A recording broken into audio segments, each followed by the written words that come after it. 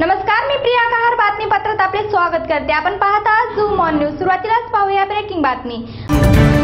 लोकसभा निवडणुकीच्या पहिल्या टप्प्यातील मतदानाला आज अवघे चोवीस तास उरले आहेत. त्यामुळे निवडणूक प्रशासन सज्ज झाले असून मतदान केंद्रावर ईव्हीएम आणि निवडणूक साहित्य पोहोचवण्याची तयारी सुरू आहे. यवतमाळ क्षेत्रात ईव्हीएम ठेवण्यात आलेले सीलबंद स्ट्रॅग रूम आज उघडण्यात आले आहे त्यानंतर मतपेट्या बाहेर काढण्यात आल्या. यवतमाळ वाशिम लोकसभा मतदारसंघात एकवीसशेहून अधिक मतदान केंद्र असून त्यासाठी आज पहाटेपासूनच यवतमाळच्या शासकीय तंत्रनिकेतन महाविद्यालयात निवडणूक अधिकारी दाखल झाले झाले आहेत